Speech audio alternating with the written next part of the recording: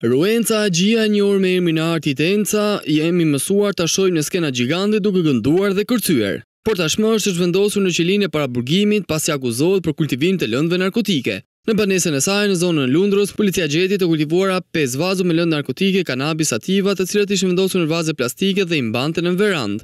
Por duket se qëndrimin në ambientet e hapura ka sjellë dhe reagimin e policisë. Nga qyri atyre, policia verifikoj duke u se bimet ishë në fazën përfudimtare. Vet 27 veçarja ka të reguar se bimet i ka përpërdorim vetjak dhe nuk mere me shqitje në lëndës narkotike. Këngtarja njohur përmbat po në dhomat e para burgimit ku pritë të dalë për masë sigurie në gjukatën e tiranës për vebren penalit të gullivimit e lëndëve narkotike, prej kosha e jeton të me i tjetër shtetë, ndërsa në tiranë kishtë ardhur për pushime.